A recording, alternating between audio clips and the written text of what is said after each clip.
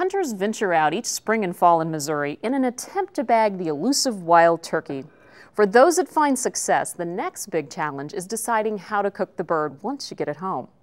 If you're looking for a recipe that's simple, tasty, and hot off the grill, then we've got you covered. To get started, you'll need two pounds of meat with the skin removed. For grilling, cut it into quarter inch thick slices. In a bowl, combine olive oil, lemon juice, oregano, and salt and pepper.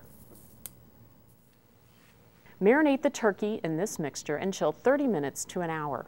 While the turkey is marinating, mix a tasty dipping sauce of yogurt, orange juice, minced garlic, ground cumin, oregano, salt, lemon juice, and orange zest. Cover and refrigerate. Place the meat on wooden skewers to help hold in moisture. Place them on a medium hot grill and cook 10 minutes or more until done. Serve with lemon sauce.